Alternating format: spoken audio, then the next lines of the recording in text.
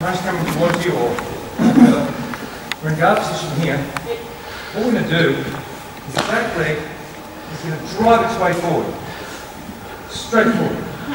The front leg is going to drive its way back. Right? So my feet will end up in the opposite position. This will be in front. This will be in front, that will be behind. There might be a technique coming, might be a right hand punch coming in, for example. So get it here. Instead of going to the outside or whatever, I've decided I'm going to get to the inside. Eight. Guard position here.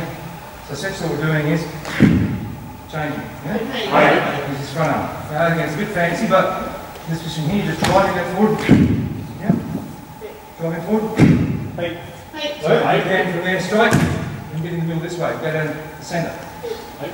So, David and I are here. Now, what's the best way? I'll start this one. Put it side up. Again, I haven't practiced it with Hayden, but change feet. So, let's say he's, um, well, let's start by stepping through. So step through and punch. Something like this. Okay, so let's say he's stepping through like so. It's easy to practice it from a distance.